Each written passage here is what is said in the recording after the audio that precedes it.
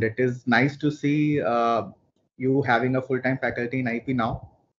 I hope you're making most of this, and this workshop is uh, an excellent attempt in uh, reaching out to the students and faculty in at least making them aware of uh, what kind of uh, IP they can file. The help is available there in-house now. So congratulations on that.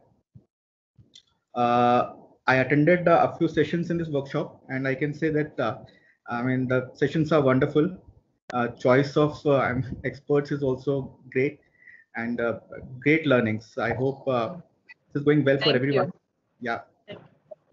Okay, so the topic was IP valuation. Uh, I had an opportunity to look at uh, the profiles of you know the participants, and uh, uh, it was great to see most of you already have uh, you know a strong background in finance and economics, so you can relate to certain things. but today, you know, for this one one and a half hour session, I wanted to show how this is different from a typical approach to valuation when it comes to IP assets. So without wasting time, let me just uh, yeah, uh, start with this particular disclaimer. Uh, standard disclaimer, the views are personal because uh, this is only for the educational information purpose. So nothing in this presentation is a professional advice. So please take professional advice for any decision or action you want to take. Uh, I will be using certain company names or uh, I will be referring to their certain IP assets. So no uh, ownership or no reference to ownership as such and also uh, all the errors or any omissions I make in this are all mine. Okay, so uh, during the inaugural session itself, uh, uh you were made to appreciate the uh, reason why IP laws exist or these kind of rights exist. an article I came across around February, March when uh, everybody was learning about coronavirus. And this is an article which says that scientists were close to a coronavirus vaccine years ago. Right. And the next sentence actually captures uh, the reason why we have these kind of systems. Because it says then the money dried up.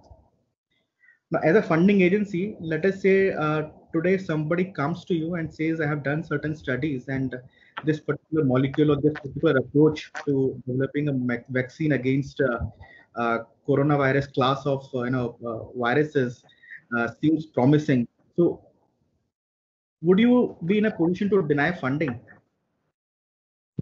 So, governments had a very uh, you know difficult position when it comes to incentivizing these kind of high risk research now nobody could have predicted the way you know this particular thing has turned up and uh, i'm talking about six seven years ago when this particular group of scientists were engaged in you know uh, developing this particular vaccine so we have now a system wherein the system promises that if you bring something new to the table especially in the context of uh, uh, patents, if you bring something new, whether it is a technology or a product or even a process, then this system will incentivize you by bringing barriers to entry. Now, later in this presentation, uh, we will see how barriers to entry uh, can be a huge competitive advantage for any company. Now, assume that you have particular business and you are the only one who is authorized to do that particular business. Sandeep, I'm sorry to uh, yeah interrupt, but uh, somebody is interested in getting to know more about the court. They want sorry? some more information. So one of the uh, participants has just uh, asked in the chat that if you could throw some more light on the quote you're using on the slide. If you could elaborate. Oh, sure. Uh, so I, have I will share this. Uh, I mean the whole presentation with Dr. Vinita. She can circulate it with the participants, and I have given the link uh, on which this particular whole article exists. So this was this was only a passing reference to uh, why these are important and how this would incentivize your continued you know uh, risk in taking this kind of research research. Now you can take you know highly funded domains. For example, if you talk about uh, electronics or you know, for example, mobile phone technology, most of the funding is currently on you know uh, improving the uh, battery life or improving the uh, camera uh, user interface or functionality of camera.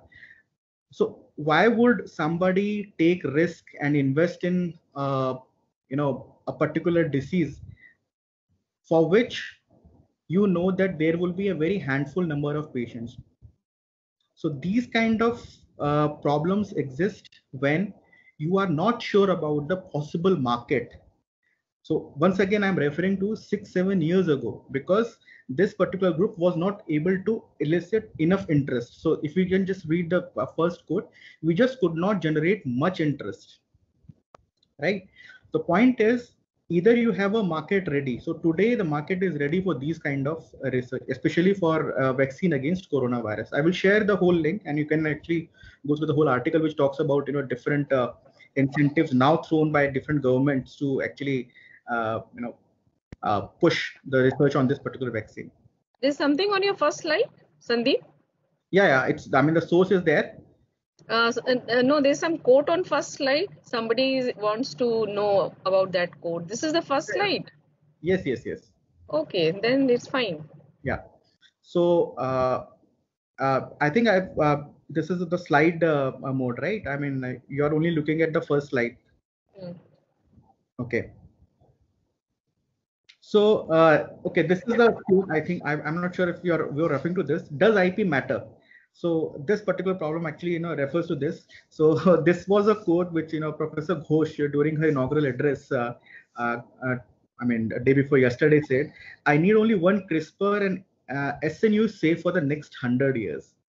So this particular aspect of, you know, IP addresses uh, how important is it for any researcher, for any, you know, research-based organization to actually explore whether there is uh, a possibility of capturing it or protecting it in the form of an, uh, a viable IP. So, uh, like this particular article talks about University of California, Berkeley now holds largest CRISPR Cas9 patent portfolio. And it's a, I mean, different topic altogether, but let me tell you, this particular group of patents is now challenged by a whole number of uh, i mean court cases. Yeah there's a lot of issues in it. So irrespective of how brilliant the technology is the moment it is successful be rest assured that it will be litigated. And i mean it is full of these kind of examples wherein a promising technology was fought and fought for years uh, till the i mean innovator realized uh, any any any kind of okay I mean, coming back to topic, uh, the value. So, the biggest uh, reason why you should do evaluation is uh, you want to measure a particular thing. So, we have the saying that uh, what you cannot uh, measure, can manage. Similarly, what you cannot value, you cannot sell becomes even more important for any organization to value their IP assets because they are looking for either for uh, collaboration. This is one thing, you know, uh, any research-based organization like yours, a university or an academic institution looking for, or you're looking for licensing it out or outrightly selling it out. So this is a quote again by a scientist which says that research is what I am doing when I don't know what I am doing. So this is for researchers. But when it comes to valuation, uh, information is always useful. The more the information you have, the better your approach to valuation becomes. So Warren Buffett says that risk comes from not knowing what you are doing. I will uh, take you through uh, one example wherein you would see that during the life cycle of a particular product, how different scenarios change the value of a particular product. Once again, uh, uh just to make you realize appreciate.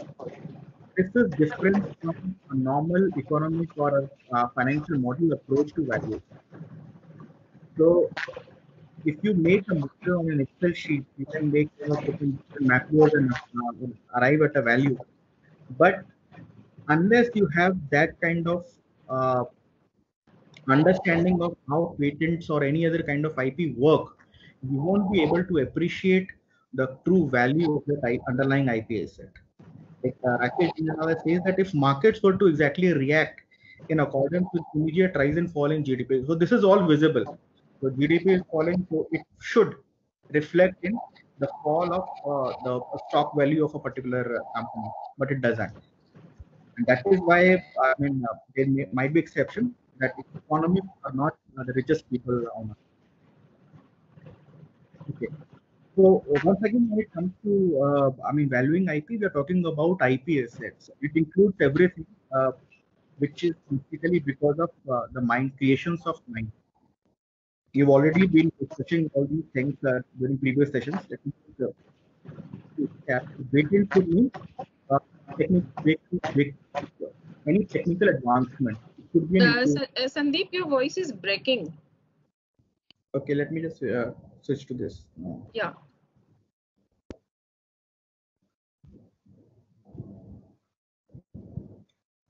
Uh, is it visible? I mean, is it audible now? Better? Much better. Okay.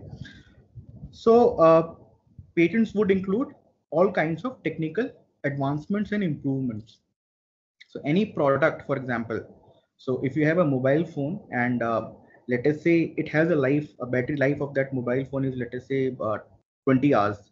If that gets increased to let us say even by 20, 30%, so that increases the life by four, five hours so this is a significant improvement, advancement. So the underlying technology is eligible for patent protection because it offers you a technical advancement. Then comes the trademarks. So this is something wherein a consumer would relate the origin of the product or service. So whether it is an Apple product or a Nokia product, because of the company's uh, brand associated with the trademark, the consumer would be able to make a decision. So anything which gives you an idea about the origin origin of a product or a service is a trademark. Then copyright. So all artistic and um, works so be it a painting or a drawing or a novel even your manuscripts or articles all these things can come under copyrights. Then the aesthetic uh, appearance of a product industrial designs and a special kind of clock for uh, uh, integrated circuit microelectronics we have IC layout design right. Then we have something called trade secrets, uh, very territory specific. In India, we don't have a specific law for this, but let us say anything, uh, any information which gives your business a, a, particular advantage. It could be as simple as uh, the list of your vendors or uh, the list of your clients or price of your inventory. So this simple thing can also be your trade secrets. Then we have a special uh, category of rights for farmers and plant breeders. And then new age uh, rights uh, in domain names or even Twitter handles now or Facebook handles. All these also constitute IP rights. So uh, I'll just repeat the thing. I think uh, already, already you have uh, uh, been uh, thought about this. IP constitute property created with the intellect. It includes everything. But most important, these are basically a bundle of legal rights. When I talk of legal rights, these are the rights. Uh, if somebody infringes upon it, you have legal remedy against it. So if somebody without your authorization uses your idea, uses your product, you can take action against it. That action would also include monetary damages. So this is one big, uh, I mean, reason why you would want to protect your IP rights. Now, when it comes to uh, you know patent protection, also gives you an idea about where the industry is headed or where the country is actually putting their efforts in research and development. So this is a I mean, uh, uh, data from uh, World Intellectual Property Organization which actually gives you data about the number of IP uh, applications filed worldwide. So as you can see, there are different uh, domains. For example, there is medical technology, there are uh, there is uh, digital communication. So which country is actually uh, researching in what domain? Let us take two examples. For example, if I talk about transportation technology, improvement, you know, advancement in uh, transportation, which country do you think is innovating most? The answer is pretty clear from this particular slide. So if you talk, of, talk about the number of patent applications, Germany is filing the biggest number of applications in transport transportation. Right. Similarly, when it comes to computer technology, out of all the applications filed by US, uh, most number of applications are filed in computer technologies. So basically, number of uh, patent applications, number of uh, IP applications, which would include industrial designs and trademarks also, indicates the focus of a country also, the focus of a particular industry in bringing uh, new products, new technologies to the market. Right now, coming to uh, valuation, I told you in the beginning that it all starts with an idea, and during the life cycle, the value would increase, the value would uh, decrease, uh, the value value would remain constant. So basically, when you are valuing a particular IP asset, please look at what juncture you are trying to value. In fact, uh, I attended a, a, a I mean, a, a particular session uh, last year, wherein uh, there was uh, you know career uh, evaluator of you know different IP assets. He told very clearly that uh, when somebody comes to me, you know, for a valuation project, the first question uh, as a evaluator I would ask is, uh, what is this valuation thing being done for, and uh, who is signing you the valuation?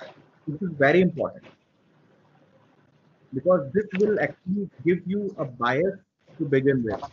So if you are an investor, you would value a particular asset in a different manner. And if you are uh, a startup, you would value your IP assets in a different manner.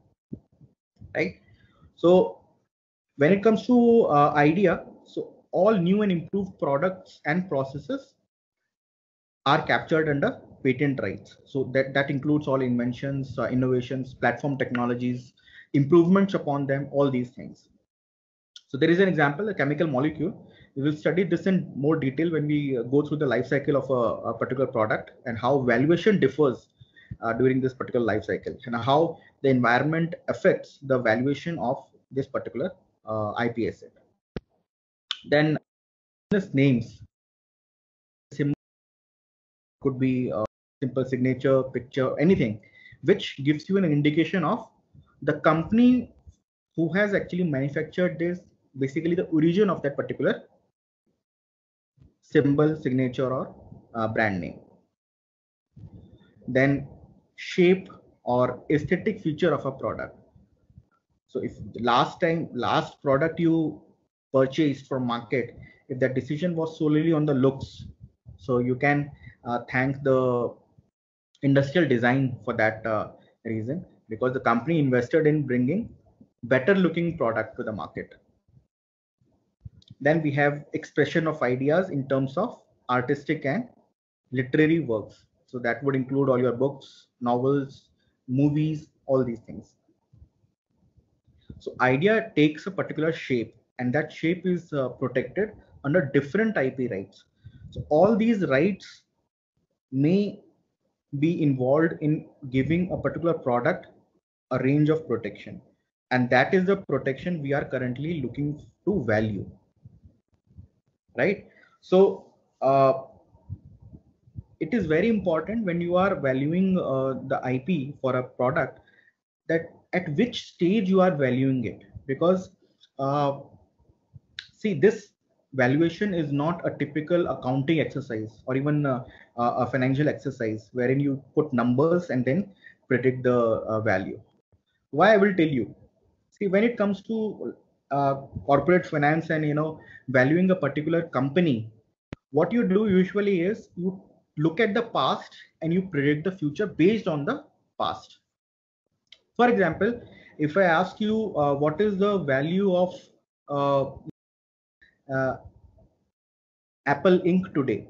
So you would look at the past earnings of apple incorporation and then you will you will arrive at a particular value of the company but if you are valuing an IP, right? Let us say IP for a molecule which uh, let us say treats uh, coronavirus or basically addresses this particular problem now you don't have the past numbers to on which you can base your valuation exercise so this is a very important thing to bear in mind that most of the valuation exercises when it comes to ip assets uh, are different from a normal company valuation. Why? Because we don't have enough data or we don't have enough references to compare the this particular valuation. In fact uh, most of the cutting edge technologies actually build new domain in themselves. For example again take the uh, crispr cas9 uh, technology. So this is a new technology altogether. So earlier gene splicing technologies whatever existed this has actually you know uh, given a new kind of approaches to deriving new age solutions to diseases and uh, i mean diagnostics. So if let us say earlier a company would take 10 to 16 months to develop a particular diagnostic kit so this technology would help them in uh, coming up with new diagnostic kit with let us say two to three months. So this is a landmark change in the, that particular approach. So the point is when it comes to IP, you have to predict the future. And this is again uh, why uh, this particular statement, which is you know very common when it comes to uh, valuation of IP assets, uh, it is more of an art than science. Why art? Because first of all, it takes uh, a kind of understanding of the technology domain and the way the market works to predict the future. Now, let us say you have never uh, read about, you don't understand the uh, medicine or science behind developing a particular vaccine. So do you think that particular accountant, that particular chartered accountant would be able to arrive at a fair value for a coronavirus vaccine? The answer is no. Why? Because you don't have that kind of uh, knowledge or information before you which would help you number one garner a particular quantitative uh, value. To the vaccine which has been developed. You won't be able to predict what kind of competition this particular vaccine would uh, face. And you don't have idea about how long this would sustain so let us say if you even if you are successful in let us say developing this vaccine now you know that that this particular virus is capable of changing its own genetic makeup. So even if you are able to uh, make that vaccine, if that vaccine fails to address the problem of you know a change of uh, uh I mean capability of virus in changing its own uh, genetic structure, then you won't be able to take a long-standing uh, uh, or long solution for this particular problem. So that is why always prefer if you are a uh, company which has got you know number of patents in a particular domain, make sure if you are giving your valuation exercise to a particular uh, uh, entity that people are aware not only of uh, uh, the industry but also about the particular technology you are trying to value a particular ip you are trying to uh, take, I mean, arrive the value for. So uh, if you are valuing an IP during the whole uh, product life cycle, it is very important at what stage you are valuing it. Now, at every stage, the value would you know jump exponentially. So if it's a pre-filing stage, you don't know how many molecules or how many iterations would it take to actually you know uh, reach uh, some viable model or you know uh, the working model for that particular technology. Then comes the biggest risk which is the regulatory approval phase and especially for medical technologies uh, or new drugs or new chemical entities this is the biggest risk. So a value would differ when it let us say if you pass the regulatory stage 1 or regulatory stage 2 or if you when you enter human trials so the value would jump exponentially and very good example would I would recommend all of you to go through is uh, the uh, valuation of uh, Moderna Inc., one of the foremost companies currently leading the coronavirus vaccine. I'm again uh, repeatedly referring to this thing so that you are able to relate to you know uh, how the world is actually uh, looking at this particular development. Then comes the launch stage. Now, this is again a difficult stage for the company because you have to convince the patient that this is uh, not only safe but also effective. Not only that, when it comes to let us say uh, uh, uh, electronic products or you know other kind of devices, you have to make the market for it. Take the example for Tesla. Now you have established uh, manufacturers, diesel car manufacturers, petrol car manufacturers, Volkswagen, General Motors, or even Maruti Suzuki. So these are all established players. They have set uh, uh, established infrastructure, dealers, uh, loyal customers, and everything. How do you convince a traditional customer who has bought, let us say, two or three vehicles in his lifetime to now switch from conventional sources of energy to uh, electrical source provided i mean given the fact that you don't have the infrastructure in place. So let us say somebody who is uh, traveling 100 kilometers uh, every day 50 kilometers uh, one way you are trying to convince him uh, switch to the uh, electrical vehicle and wherein you would be needed to charge the vehicle every day. So this is a huge, you know, educational and training exercise for the company also, and uh, a, a, big, big risk for the company uh, because you, not, not only you have to educate the customer, but also you have to create infrastructure. Sometimes this to address this particular thing, companies decide to forego their right to enforce their IP rights. So please, I mean, uh, I hope this is uh, clear. Uh, this is a difficult uh, thing to understand, but it will be easier if you can relate it to uh, what Tesla did. So if you remember around uh, two, three years ago, uh, Elon Musk announced that Tesla will not enforce their patents. Now, if you remember the patent prosecution, I hope Dr. Vanita, uh, we have already covered the patent prosecution. So there is a there is a way of foregoing your IP rights. You can surrender your IP rights, right? Surrender would mean that no longer your IP rights exist. So what Tesla did, they announced that they won't enforce, but they did not surrender. Please uh, try to understand the difference between those two things.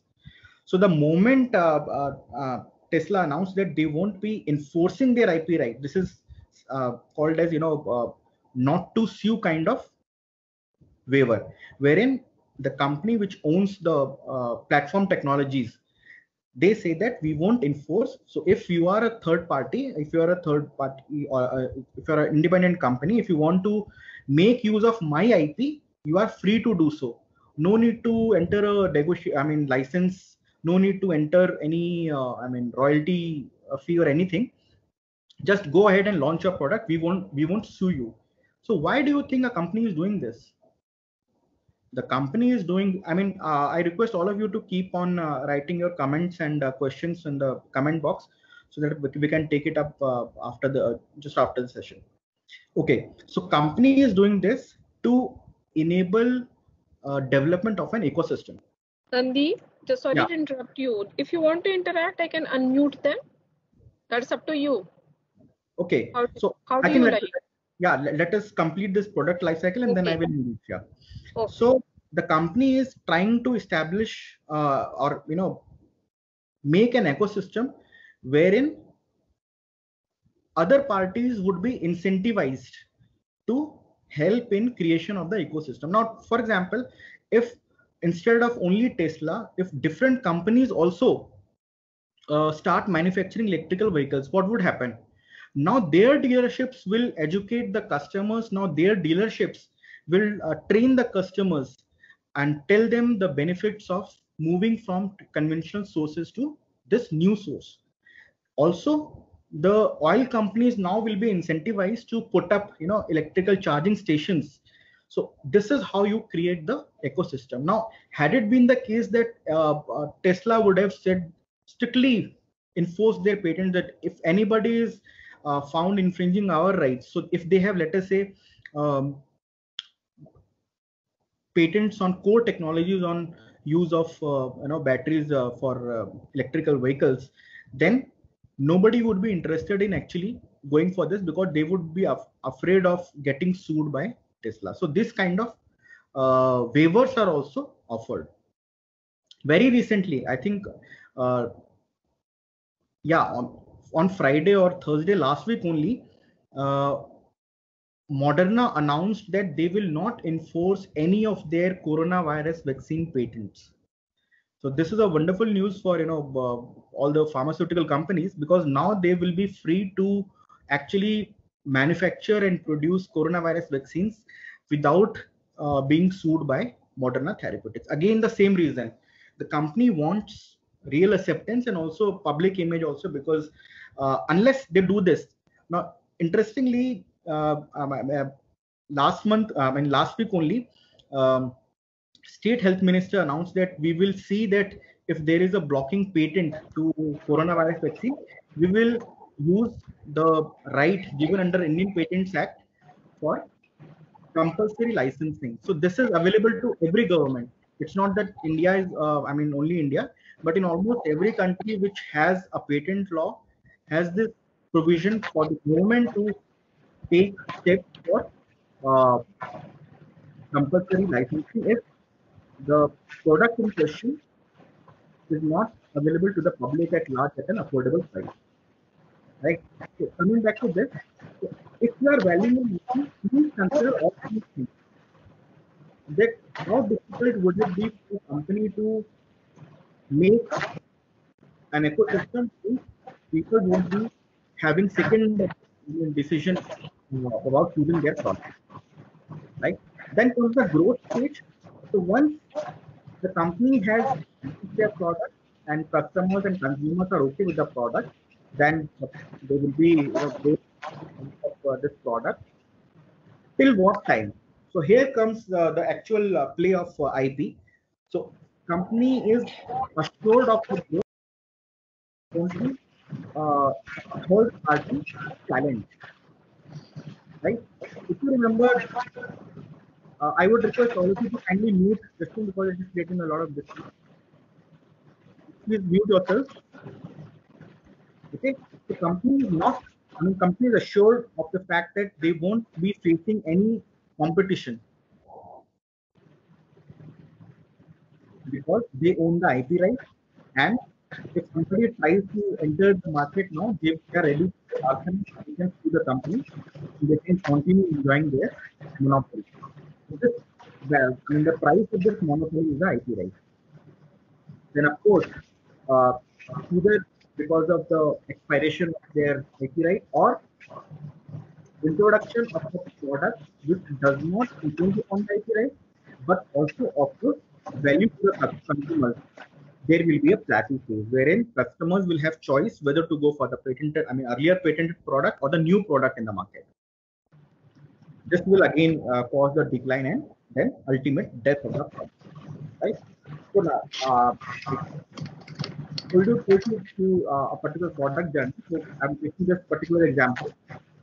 I hope uh, everyone is aware of this particular uh, drug.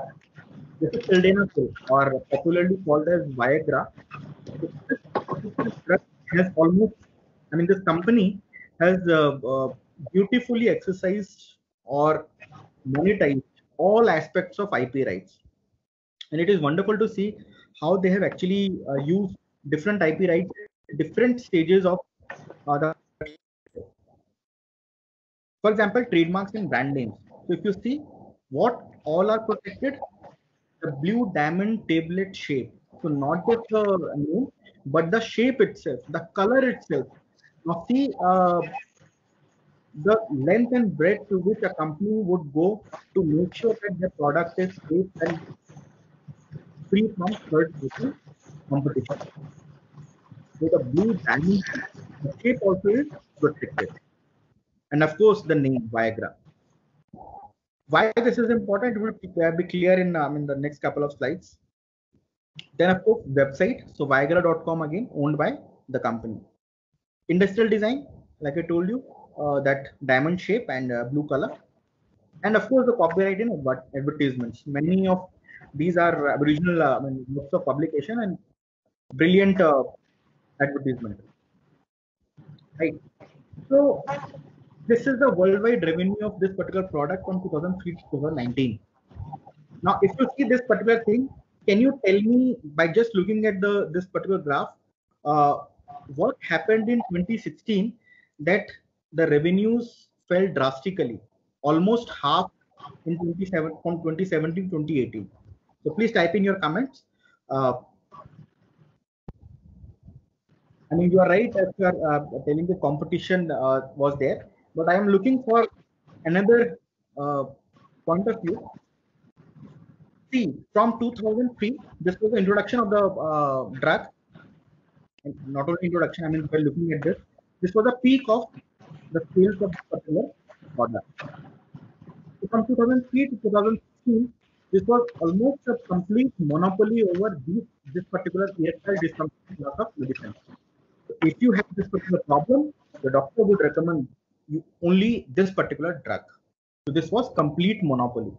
So this is the phase wherein if you are valuing an IP asset, this was this will be the biggest value you can assign to a product. All approaches, we will uh, talk about different approaches to uh, uh arriving at an IP value, but all approaches will give you whether it is a cost approach, whether it is the income approach, whether it is discounted cash flow, anything you take, it will give you the biggest valuation in terms of numbers when it comes to this particular stage. So product is launched and product is successful in the market. So if you are valuing an IP asset, you, you would know that why is the company enjoying uh, this unchallenged monopoly in the market? The reason is very simple.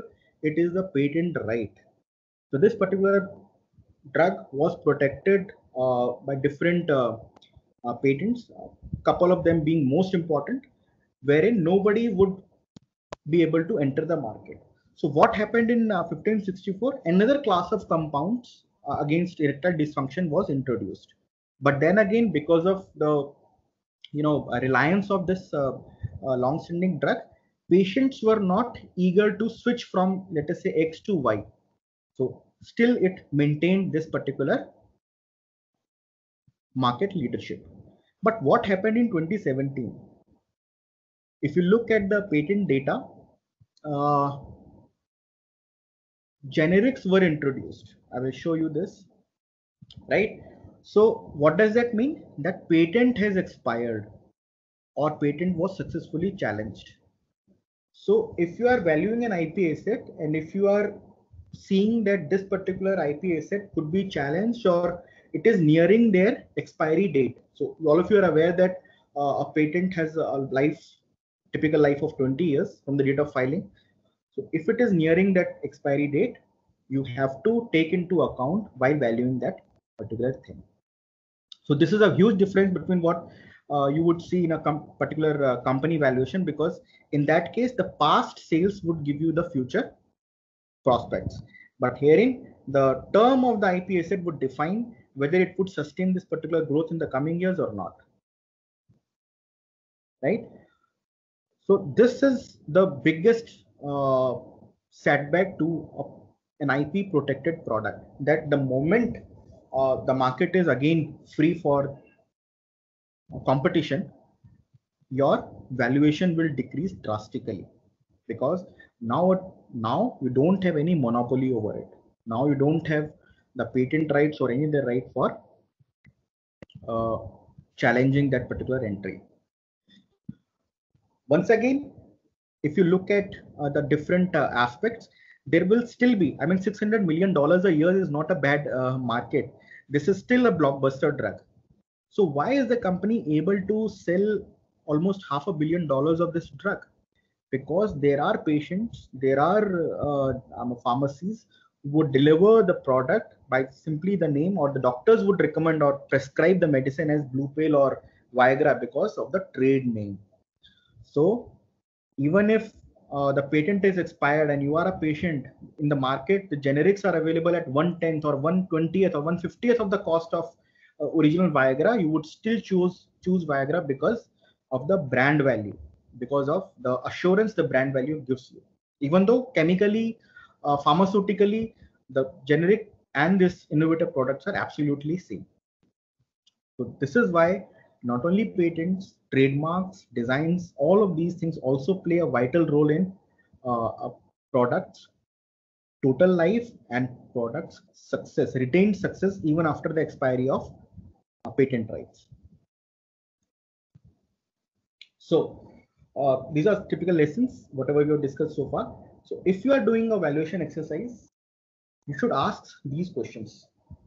So what is this valuation exercise for? Like I told you, whether you are an investor, uh, whether you are a founder, whether you are uh, a consultant for providing this kind of services. So who is interested in this particular valuation? Which industry does this IP belong to? Now, I will just give you one very simple example.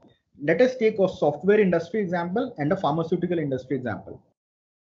If today you have a product, let us say uh, Zoom, for example, in the last month or so, I have uh, delivered maybe more than 20 uh, webinars, and most of them have been on Zoom, Zoom meetings. And uh, uh, it is not that Zoom is the only platform on which you can deliver webinars. Today we are doing this on Microsoft Teams. Then there is Jio platforms also. Almost uh, every feature of Zoom is available in uh, Jio. Then there is Zoho. I mean, countless numbers of platforms are available for delivering uh, these kind of webinars, online classes, everything. But if you look at the value of uh, Zoom, it has surged from less than $4 billion to almost $60 billion in the last one year. See, in software industry, it is very easy to uh, make a product or introduce a product which is not infringing right? Even if you change a particular uh, aspect of source code, you will still be able to build a platform which will deliver exactly the same function, but without infringing the rights of the original company. For example, if today you want to uh, build uh, an operating system which takes all the features of uh, Windows, for example, but does not copy the exact source code of Windows, you should be able to do that right? There are many operating systems. So this is why the software uh, IP rights are not that hard or not that strong when it comes to enforcement. Of course, uh, there will be uh, exceptions to this, but the point is it is easier for a software company to develop non-infringing products. However, when it comes to pharmaceutical products, because of the regulatory conditions, so you have to match the exact uh, composition of regulatory uh, approval, or you have to do your own research or develop your own data, clinical uh, data, which is itself is a very costly affair. So that that is also a you know entry barrier.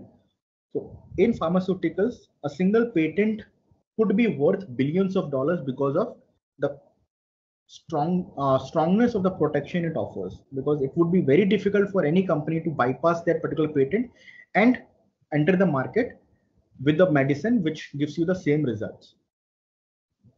Then when is this valuation being done during the product life cycle?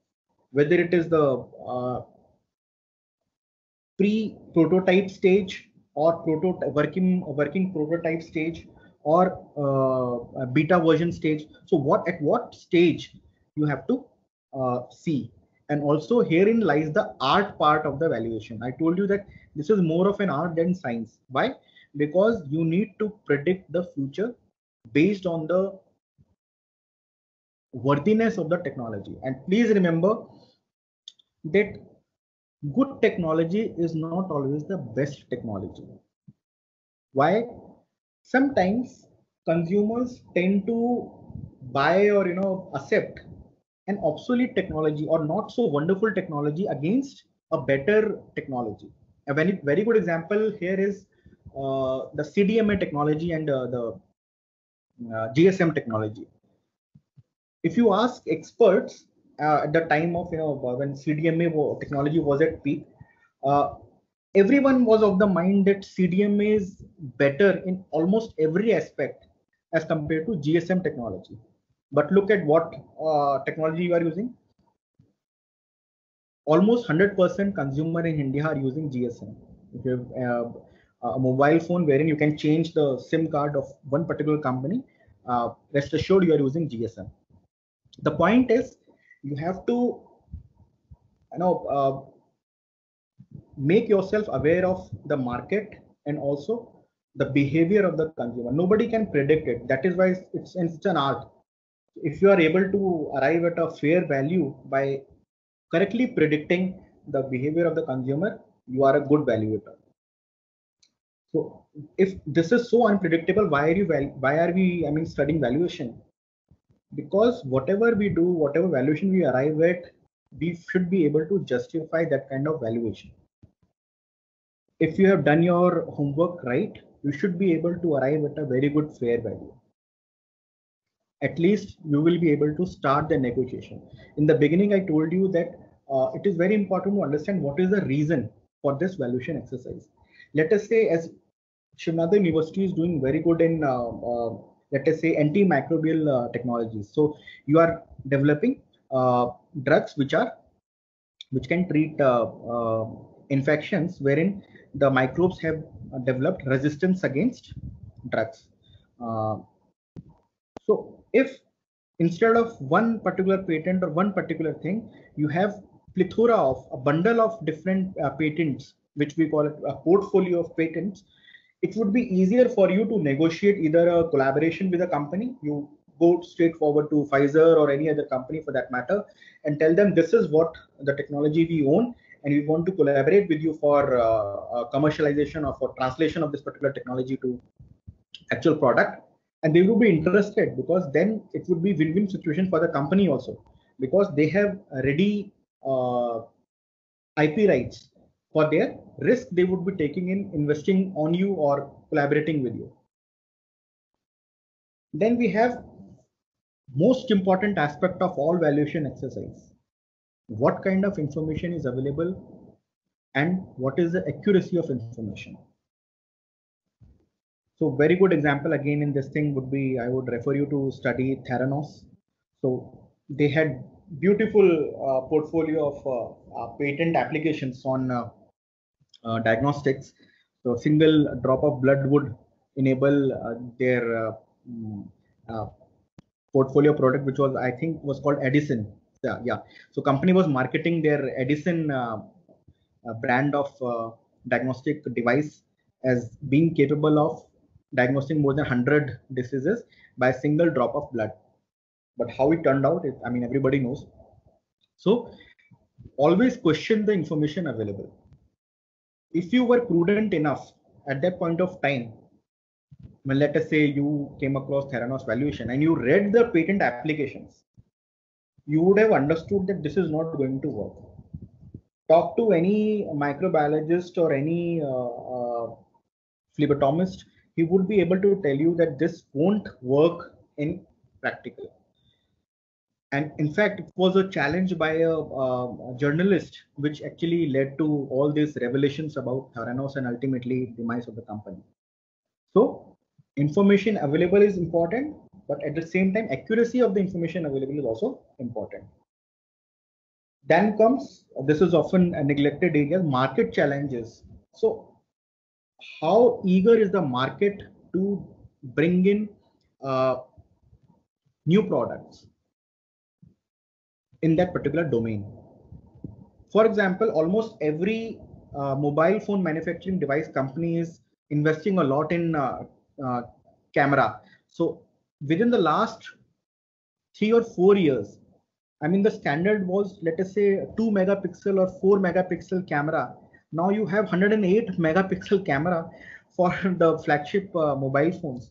So within the three, four years, if you see the capability of your uh, mobile phone is actually more than the DSLR which existed a couple of years ago. So if there are so, there is so much challenges to uh, or so much eagerness of the market to introduce new products, the fair value today of that particular technology will be very less. So if today somebody comes to me that they have a new technology which will enable a mobile phone to uh, capture uh, images of let us say 120 megapixel so I would not give give that particular uh, technology a huge valuation because the way the market has introduced new efficiencies in the uh, camera phones. However, it would change when it comes to battery. Now, if somebody comes to me and says that they have a, a technology wherein the battery life has increased by, let us say, even 20% or 30%, this commands a huge valuation. Why? Because if you see in the last 10 years, every company has invested billions of dollars in increasing the life of uh, the battery in a uh, I mean mobile phone, but ultimately they have not been able to go beyond one one and a half days. So see the success in introducing or improving a particular product, and will the industry be able to bring in better products at a rapid pace? So all these things should also be considered. And I think now you would be able to appreciate why I said in the beginning, this is not an accounting exercise. This is not a financial exercise when it comes to valuing a valuing an IP asset. And this is absolutely different from how you value a particular company. Of course, if you are already aware of how to value a company, you are better positioned in arriving at an IP valuation. But this is different exercise altogether. Then ultimately there are regulatory challenges also so I recently came across a, a patent application. Uh, it was on uh, a, a, vending machine for uh, a joint, so weed joint basically. So in a country like India or other regulated countries where it, wherein uh, marijuana and other uh, uh, recreational drugs are heavily regulated, so this vending machine has absolutely zero market value. So if regulations define that these kind of products cannot exist, obviously the valuation would be close to zero, irrespective of how great the technology is. Right? Okay, so I have listed some resources. So uh, you can use these resources for uh, uh, doing some exercises. And I would recommend uh, start doing some paper valuation at least for the companies who are interested in. Go to the uh, uh, IP portfolio of that companies. try to find out what kind of portfolios companies banking on when it comes to future prediction of earnings. So that is why you will be able to appreciate the, the focus of the company on that particular IP asset. Okay, coming back to the actual uh, uh, topic. So valuing IP assets. So I hope now you have a background on why this is different from a normal valuation. So you see, I mean, we just witnessed uh, why traditional approaches won't work in an IP setting, especially in a, an academic setting, if you're valuing the IP set of a university or a research institution. The very first is very simple. Uh, I learned long back that uh, a topic is as hard as you can you want it to be. So it's very simple cost-based approach. The name itself tells itself tells you what has been your cost in developing that particular technology or that particular product or that particular IP. What happens when you uh, do this thing? And this has happened, I mean, almost in every case I have uh, uh, encountered. People tend to forget or don't take into account many costs. For example, I would say the day you went to meet your uh, patent attorney to file the patent on your invention, that cost should be included. If the travel cost was 200 rupee, please take into consideration that. If the consultation, one hour consultation was uh, 10,000 rupee, please take into consideration uh, that particular cost. So cost-based approaches take into consideration all the costs for generating that particular IP asset. So what your patent filing fee, uh, patent prosecution fee, patent challenge fee, all these things should be taken into consideration. Not only that, the R&D cost will also be there. So if I'm talking about uh, a particular IP asset of a company, by this particular approach, I have to consider all the costs.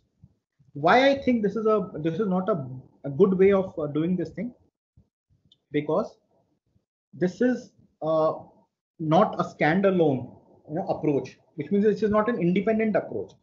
Somebody might have an efficient way of, let us say, identifying a vendor or doing uh, clinical trials, or they would have low cost uh, an approach of you know doing things.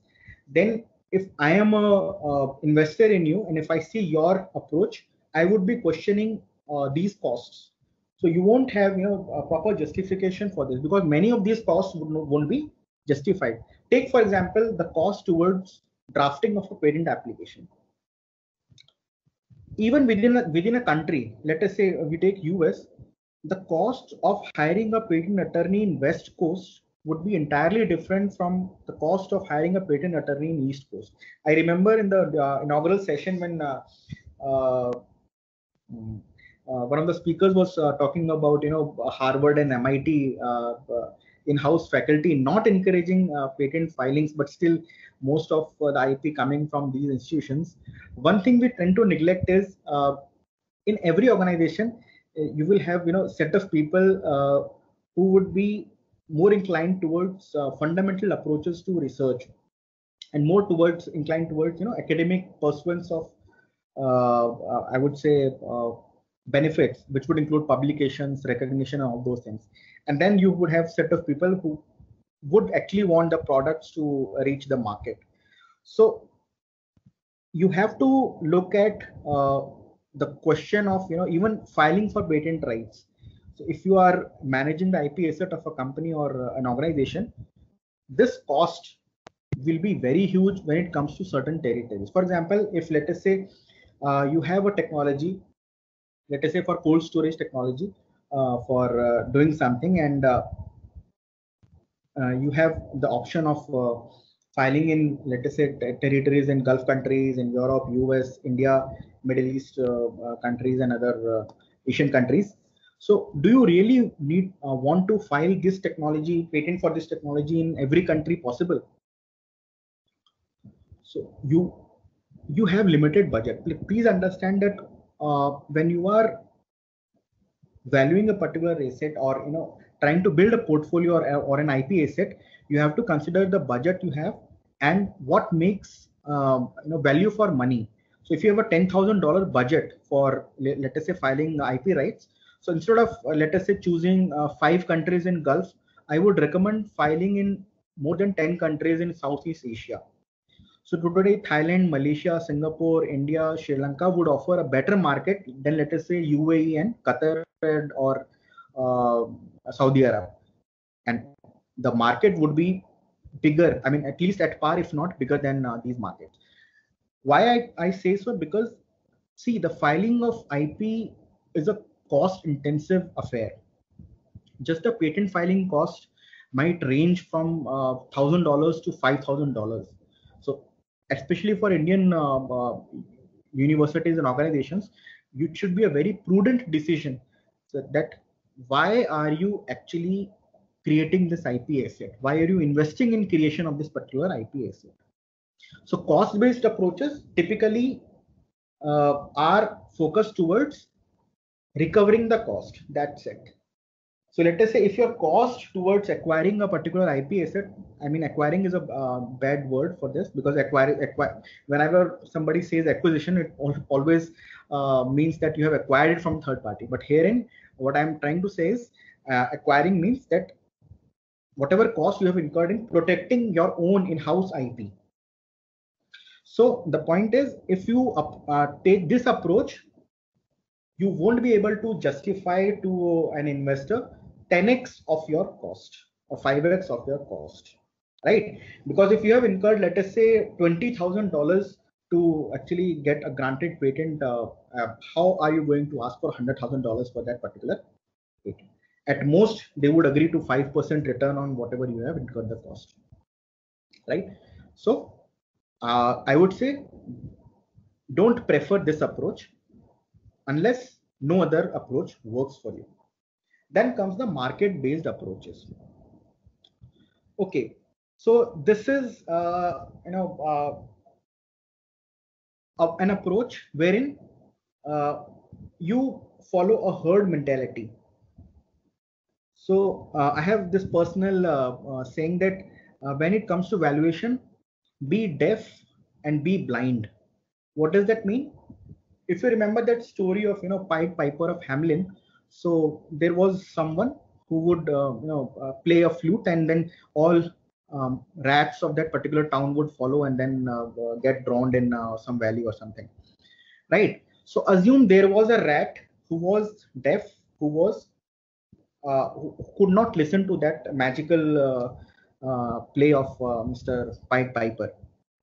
Why do you think that rat still followed every other rat? It was a herd mentality. Just because everybody is following uh, this gentleman, I should also follow. See, market-based approaches, what happens? Uh, you try to value an asset based on what others have evaluated, I mean, given a value to similar kind of asset.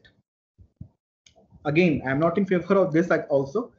Uh, why? Because it's very simple. IP inherently means something which was not done before. So intellectual property is based on what? Newness. So that novelty is the, I mean, number one criteria when it comes to uh, uh, creating an IP. And fundamentally, if it is a new, you don't have a precedence. If you don't have a precedence, you cannot have a market-based approach because market-based approach itself asks you to, sorry, uh, yeah, itself asks you to uh, refer to some prior transaction, some prior uh, valuation done by the market. If market says that a similar technology or similar approach to this uh, problem was valued at let us say x then you can go to 1.1x or 0.90x but not more than that. So there are standard thumbs of uh, i mean rules of thumb then you have to abide by them. I hope i mean when i'm uh, talking about this you are you can actually picturize what are the pros and cons of you know each approach. I will uh, quickly jot down all these things so that you are able to appreciate them uh, later on also. And then come income based approaches best approaches when it comes to uh, valuing an IP asset. Why I say so? Now, I already told you in the beginning that uh, why traditional accountants who were actually, you know, uh, best professionals for uh, uh, valuation of any kind, why they are not good for uh, valuing IP assets. It's very simple they cannot predict the future income of an IP based company. I mean, I challenge you, give me one single article or one single uh, valuation approach wherein at the time of iPhone launch, I think it was in 2007, any uh, accountant or any these you know uh, big four firms had valued Apple to be world's uh, most valued company at $2 trillion in 2020? No one. But if you would have done, you know, the IP valuation of the assets which uh, Apple holds, that itself would be running into billions of dollars. That itself will give you an idea about the ecosystem they were creating. So even if their iPhone, you know, does not next version of iPhone is not accepted by the market or there's a total failure in the market, they still have this ecosystem. Their their Play Store, their uh, I mean, I don't use uh, iPhone, so I'm not aware of all these things. But the thing is, they still have that ecosystem to count on. The, uh, the their iOS itself garners you know billions of dollars in revenue. So income-based approaches works well if you can appreciate the te underlying technology if you can appreciate the underlying IP assets, and also if you can appreciate the behavior of the market towards accepting new technologies, new kind of these kind of technologies. So best way of, uh, I would say, I mean, again, this is a very personal view. Every valuation is a, a different exercise, and sometimes market-based approaches uh, do wonderfully well when for uh, a particular set of uh, uh, IP rights, right? So income-based approaches work well when you are into that particular field you are able to appreciate the underlying uh, technology. Uh, so if it's a touchscreen technology. So let us say if you were uh, in 2006 i think uh, fortune had uh, uh, you know an, a whole article on nokia that nobody can beat nokia. And next year apple introduced iphone.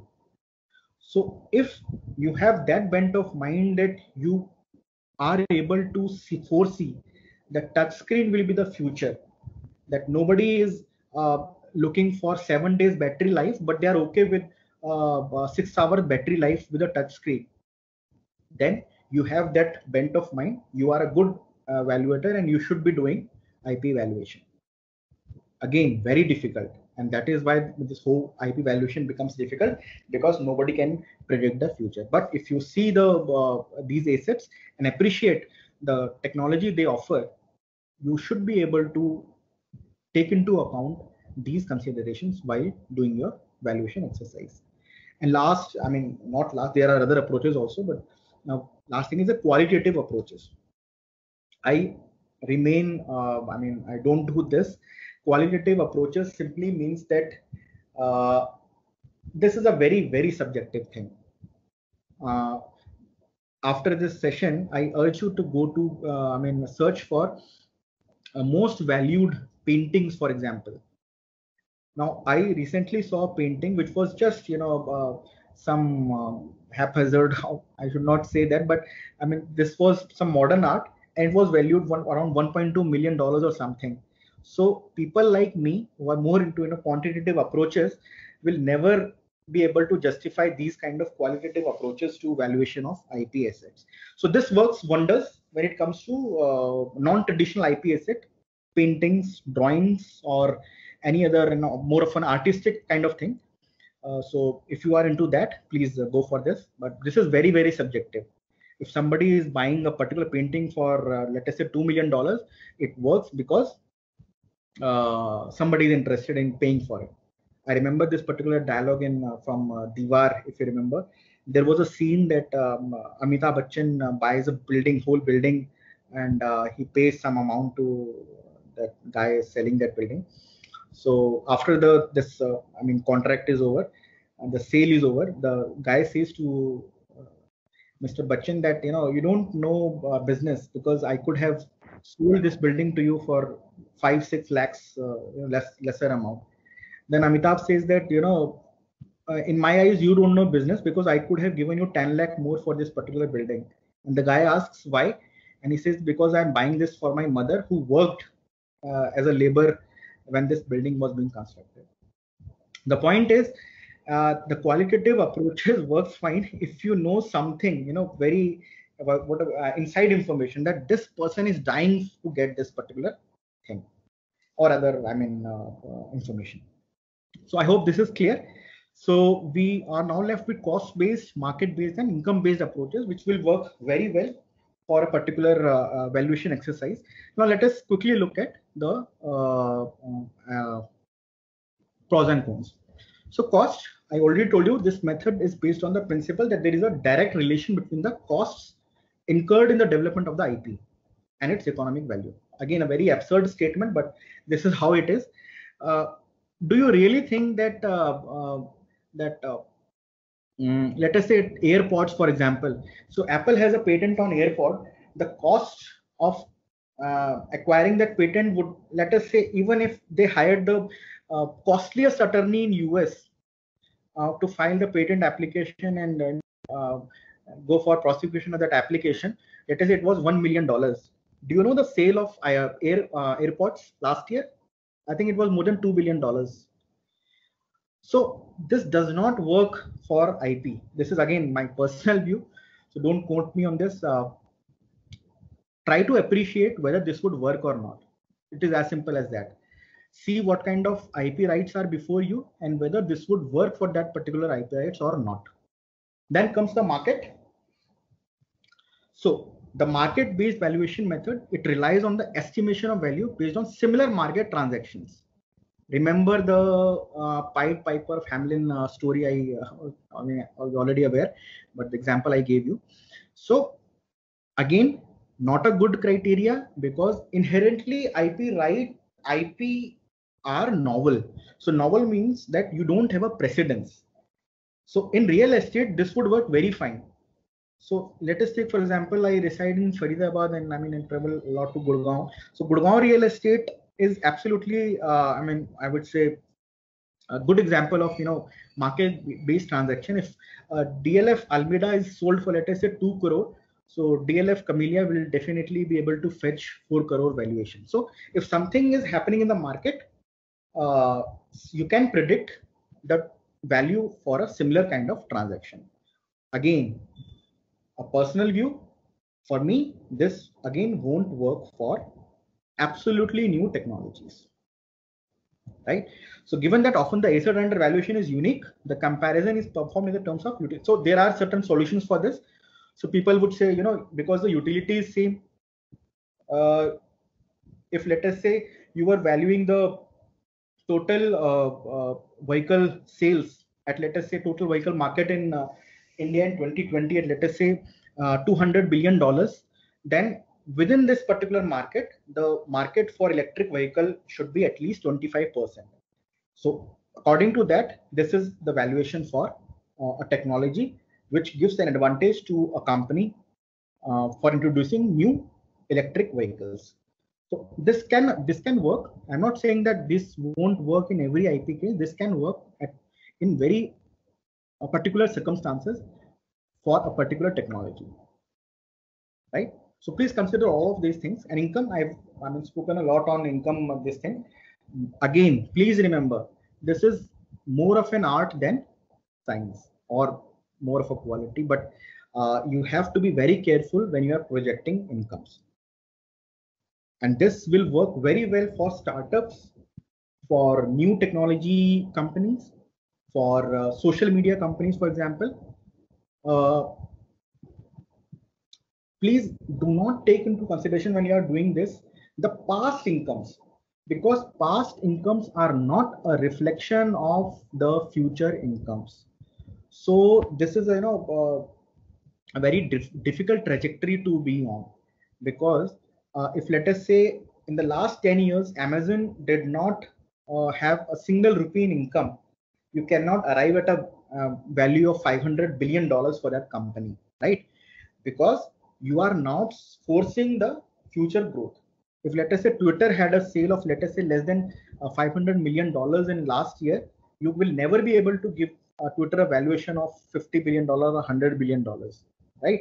So in this case, you have to be uh, very clear about the projected future income and on what basis you are projecting the growth. So it could be based on number of influencers, number of uh, users every month they are uh, getting new ones. So all these things should be taken into consideration. Right? And the qualitative i've already told you not my cup of tea. So if you can appreciate that uh, modern art then please go for it. So this is a very good uh, uh, summary of uh, the approaches we have already seen i've not discussed some of these approaches because i think I think, do we have time, Dr. Vinita? Hello? Sandeep, I had muted my mic. Yeah, Sandeep, you can take another 10 minutes because you started late also. Yeah, yeah. So, so uh, another 10, 15 minutes maximum. Okay. Sure, sure, sure. So Including question to, answer. Yeah. So I will try to wrap it up in this uh, particular slide. Fine. So in this uh, uh method, cost method, so what are the advantages and when it should be done? I mean, uh, I will share this particular presentation, so no need to, I mean, it's your choice if you want to take notes on this, but a very crisp overview of when to take a particular approach and what kind of advantages and disadvantages a particular approach would offer, right? So in, in the case of cost based, I mean, basically what you have incurred in uh, getting the technology or that, that asset, valuation is done at very early stages of development. Now, let us say if you're a university and your account says, you know, uh, we cannot give you more money on uh, spending on this IP, try to get rid of it. So what do you do? You just simply take whatever bills you have already incurred on this, uh, I mean, IP and then um, go for licensing. Now, company will be interested why? Because company is getting a ready-made IP um, uh, without incurring the cost. Because initial stages you've already taken care of, and company has very low risk profile because what they are paying you, they're just paying uh, you the your costs. So even in the case company had actually you know, uh, developed this technology or trying to uh, acquire IP, they would have incurred the same or similar kind of cost. So risks are lowest so you would be able to, if you are negotiating with the company, you would be able to uh, talk to the company, convince the managers there that you know you are getting a fair deal. You should be able, um, I mean, take the license as soon as you can, right? So then advantages, simplicity, of course, no uh, complex mathematics involved. Simply the bills you are presenting, whatever cost you have incurred, and information can be easily gathered. So in fact, uh, in uh, uh, highly regulated territories, even the costs of attorney is regulated. So you have fixed costs for prosecution, fixed costs for uh, drafting and all those things. So you, you have the standards, so you can ask for those uh, costs. What are the disadvantages? Once again, acquiring of an IP is not a reflection of the value of IP. I already gave you an example of AirPods. So very, very uh, disadvantageous when you have an uh, promising technology, but your accounts department is not able, uh, I mean, uh, able to support you, right? So you will have to let go of this kind of IP. Market based, once again, the herd mentality, again, not um, not preferred by me.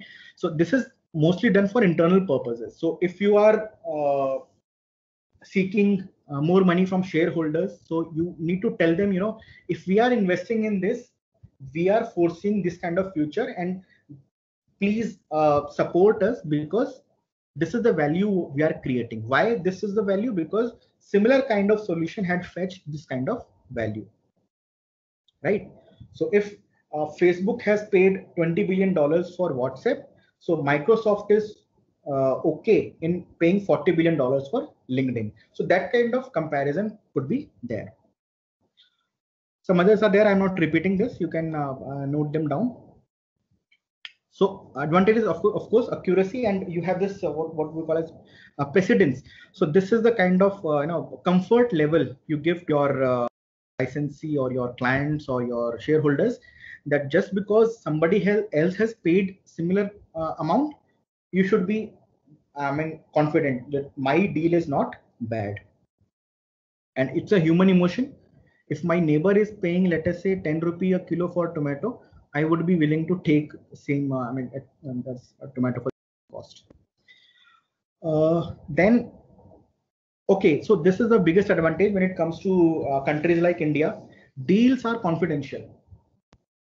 So most of the deals i mean if i uh, ask it what uh, uh, valuation info invested in, in zomato this might not be public so it's very difficult to uh, value uh, transactions when the similar kind of transactions are not in public.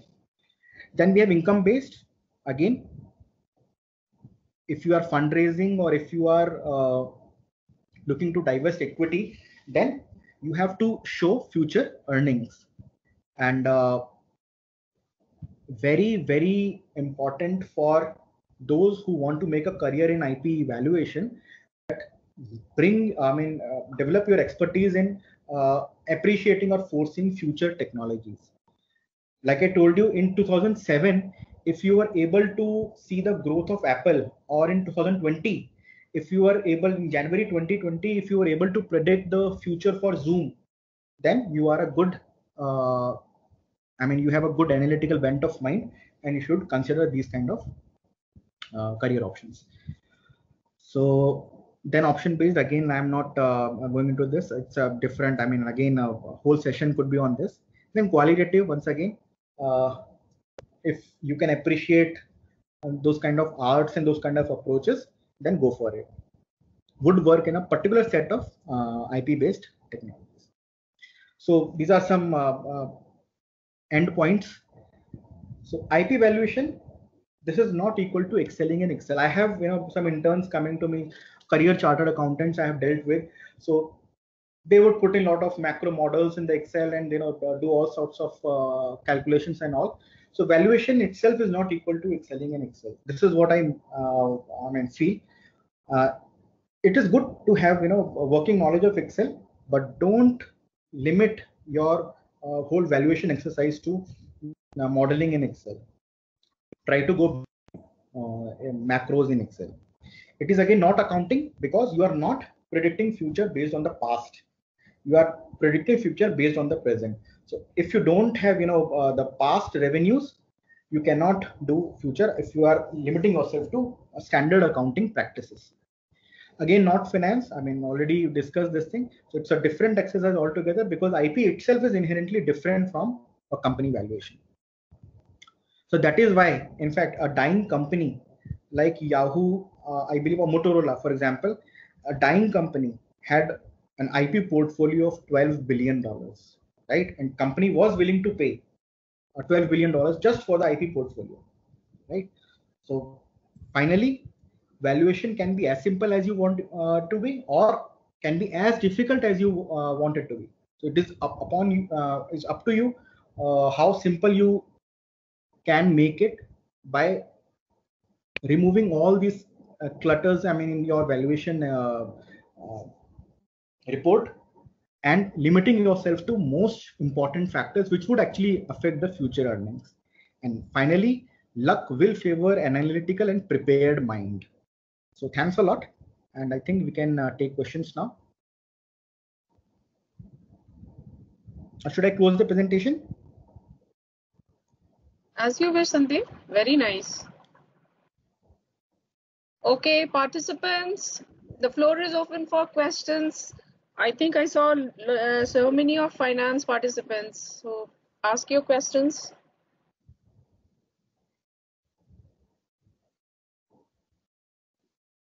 Okay, I'm also going through uh, the uh, chat. Uh-huh. Uh, in, in chat, I think there's nothing. Vikas. Okay. because wants to ask something. Yes, because One of the slides uh, you have showed different countries with the different types of uh, IPR uh, which have been kind of uh, filed. So in India, what is the maximum and okay, what kind of uh, IP are filed in India? In oh, what So uh, the thing is, very recently, the Indian Patent Office has released its uh, report. Uh, it's available on ipindia.nic.in, and this is the annual report for 2018-2019, right? So not for the current financial year, but the previous uh, year. So there you can actually have a look at the top domains in which uh, the patent applications have been filed. But just a caveat that uh, sometimes uh, a domain will not give you the correct picture. For example, uh, let us talk about a shoe with uh, sensors which will predict how many steps you have moved. So would you keep this shoe in, uh, let us say, um, apparels or would you keep this in electronics? So the point is go through this annual report and you would be able to appreciate in uh, what uh, domains we have filed. But I can I can be sure that uh, chemicals and pharmaceuticals have remained the top category in number of filings in India. Thank you. Thank you, Sandeep.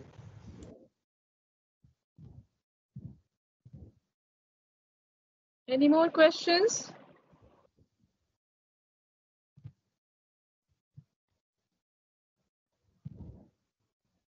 Yeah. Do we have separate forum to get the patents registered in finance? No. Sandeep? Yeah. So uh, if I am getting this question correctly, uh, so your first part of the question is, uh, do we have patents in finance and is it different from other patent registrations? So first thing is uh, we have uh, an act called Indian Patents Act, which would govern whether you would get a patent in a particular area or not. So uh, finance, as, as, I understand, what kind of technological advancement you are bringing in, in let us say financial transaction so if it is a pure algorithmic based uh, financial transaction, the Indian Patent Act Section 3, Section 3 in fact, uh, disallows patenting in these areas. It says that uh, pure algorithms, uh, pure methods of doing a business are not patentable. However, let us say you are enabling transactions in real time by employing a particular technology or deploying a technology then it could be patentable. Now, how is this different? It is not different from other sets of patent rights. The rights are absolutely same. Uh, you can uh, sue somebody if somebody infringe upon it. But the only thing is you would have to justify the technical advancement and you have to defend that this does not violate section 3k. Section 3k simply means that uh, your technology is not just a software algorithm, is not mm. just a business method, is not just a method to do a business. Yes. So in fact, if you can share with me what exactly uh, mention is, I would be in a better position to advise you on whether it uh, would make sense for you to file a patent or not. Okay, they must have heard a lot about fintech patents. Yes, yes. So I many mean, fintech patents. Yes, there are. Finance area. Okay, Sandeep. Uh, I, oh, who's that? Please check your mic. Please. I want to mic. ask.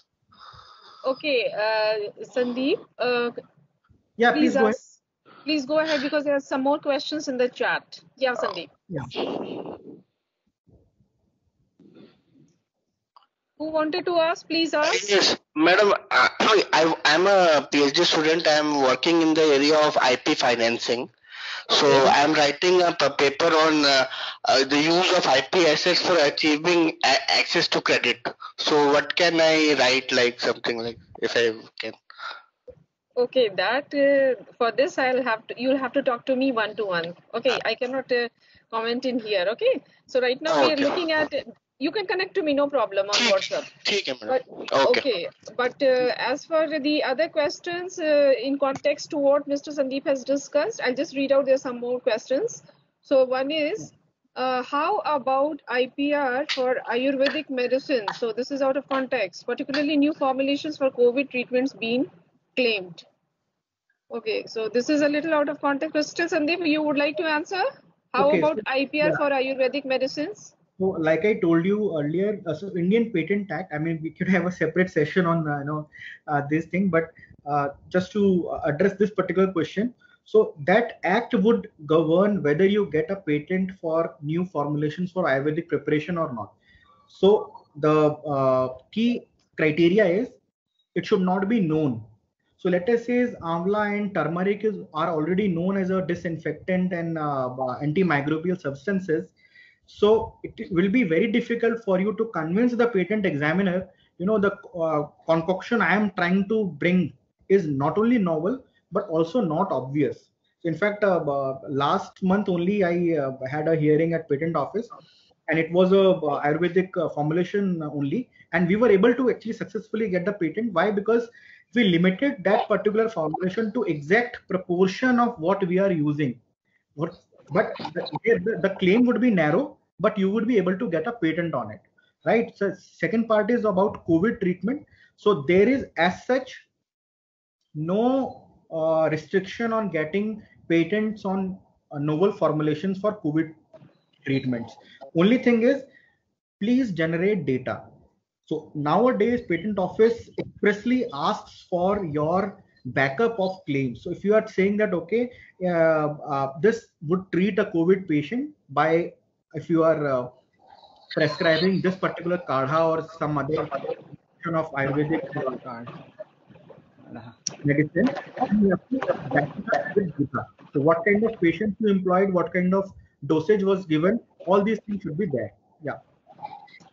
Yeah, so I think uh, uh, theoretically about TCAN formulations in passing, uh, Professor Jan has taken up. But as you said rightly, it is a very broad, it's a very wide and it needs a lot of time to be discussed in detail.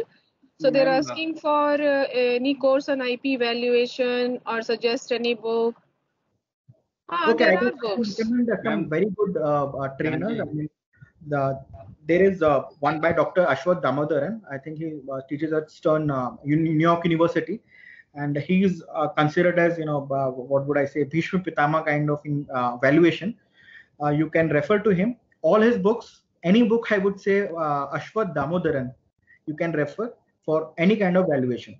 An IP course, IP valuation course. There must be. if you somewhere. go to yeah, full-fledged yeah. you will not find it anywhere in the university or in the college but somewhere in integrated in finance or somewhere you'll find it that way because it's still not to, uh, has to catch up as a proper subject yeah so the thing is uh, i was listening to you know one uh, uh seminar so uh, so he told me that in 1979 in uh. i think it was harvard business school or some i mean ivy league school uh-huh in the whole MBA, two years MBA, they had two hours class for valuation.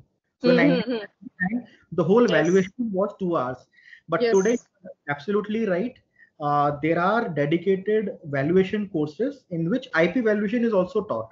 So you yes. can uh, go for that. Yeah. I think they're easily uh-huh. available on Google also. But uh, they have to be told one thing, uh, the participants who just got apprised of this IP evaluation thing, that you cannot have a full-fledged course as in the case of uh, finance, because first of all, the major bottleneck is there is no proper market for IP. It is a very liquid market, and there's very uncertainty. Uh, there's no fixed standards as in accounting and all. So to have a course that way as you have it in finance, it's it cannot come at par. It will no, still but, be but, in a very fledgling stage. So I would differ in this. This is a uh, an unmet need, and this is an opportunity for people like you and me. Yes, we yes. can uh, uh, ask the you know regulators to actually you know uh, work with us and uh, evolve exactly standardization exactly. on uh, this thing. In fact, I recently came across this bank auction. Mm. So this company was into biscuits and all these FMCG products. So mm. they are under liquidation, and the bank is auctioning off their properties and they have valued their trademarks. And it is very i mean good to see that now banks are now uh, not only uh, taking their physical assets but also mm. recognizing the need to actually auction off their ip assets. So this is a i mean good uh, uh, development. Sandeep that's what i'm saying. Ki abhi opportunity it's in a very fluid state is yes. it's getting built. But yes. if you say well established then it is not there. No, no no. Absolutely not. Yeah yeah. I agree. Okay there's some more questions I'll just read uh, it out. Uh, hello. General charges for patent attorney in India. Oh, that varies. And for hiring external person as IP evaluator. So let us say if I ask you what are the general charges for doing an MBA course in India, oh. so would you be able to give me an exact figure? The answer is that's very so, relative. Yeah. So, uh, uh, but uh, I mean, uh, uh, if you're talking about filing a complete application and uh, seeing it through the uh, grant, I would say it would range from 60,000 Indian rupee to around 1 lakh 20,000 Indian rupee. And for uh, IP valuation, if it's a single patent, single IP asset, then it should not go beyond 50,000 INR. But if it's a portfolio of this thing, it might range from 2 lakh to 5 lakh INR. Again, a very I mean distant ballpark, but I hope you get the idea. Any so more questions? Raising any, any can, can, can I can I ask? Oh, Please, sure, you can ask. Please go ahead. Yeah, uh, sir, sir, I just want to ask you.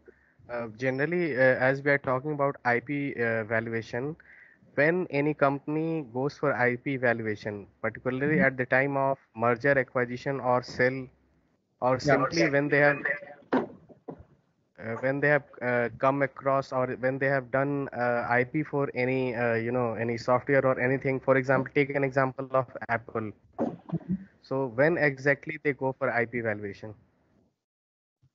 This is what he explained on the first slide. What are the stages at which you can consider? Yeah, in fact, Remember? this your first question. Uh, when are you doing this IP valuation? For whom you are valuing this? Uh, I'm doing this IP valuation. So if you if as, a, as an investor, if you are doing uh, approach, in fact, uh, you know, for accountants, it becomes very difficult to justify the valuation when it comes to IP assets. So generally, what they do, because in the balance sheet they have to balance uh, the assets uh, with the uh, everything. So what they do, they put goodwill. If let us say uh, Facebook is buying WhatsApp, so their earnings and revenue will not justify a valuation of 20 uh, billion dollars. So they would put 19.5 billion dollars as goodwill, just to balance the I mean uh, this thing. So if you are looking to raise an equity or uh, um, acquiring something, so go beyond the traditional accounting practices. If you are able to foresee the value of underlying assets, so that is why I always I mean I told you about you know the income-based approach when you can foresee this thing. So WhatsApp till I don't think they have uh, raised, I mean, uh, earned a single rupee in revenue, but they had been acquired by Facebook for 20 billion dollars. So you have to look at from those perspective.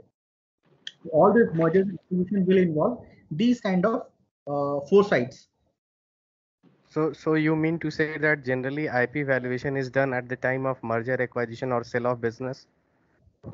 Generally, yes, but uh, not this is not the exhaustive list of uh, uh, uh, the, the the the time at which it is done. Because a company as I told you, for example, if you are in a university and let us say your management has given you uh, $5,000 budget to get a patent, and after 5,000 somebody challenges your patent, and you don't have uh, enough money to you know uh, address that particular challenge, what approach and tell a company, you know, look, somebody has challenged, uh, take take our patent and uh, uh, I mean own this portfolio and uh, prosecute it because we are not interested in this. So it would depend. So for academic, uh, I mean um, researchers, early stage valuation becomes more important because they are trying to get off you know costs of uh, prosecuting a patent application till till grant because uh, every subsequent stage comes with a lot more costs Okay, Sandeep. Yeah, thanks a lot, uh, Dr. Vinita. I think we have. Uh, no, there's one more question. Sandeep, one more question. Please take sure, it up. Sure. Go ahead. Go ahead. Uh, this is a very relevant one. Can you share some experiences on valuing Indian startups in emerging technologies areas like Nirmay and Ethereal?